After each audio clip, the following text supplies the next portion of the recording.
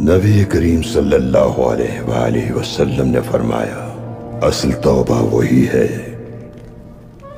कि इंसान गुनाह की जानब दोबारा न पलटे। बिल्कुल उसी तरह, जैसे छत्ते से निकला हुआ शहद कभी भी उस छत्ते में वापस नहीं जा सकता।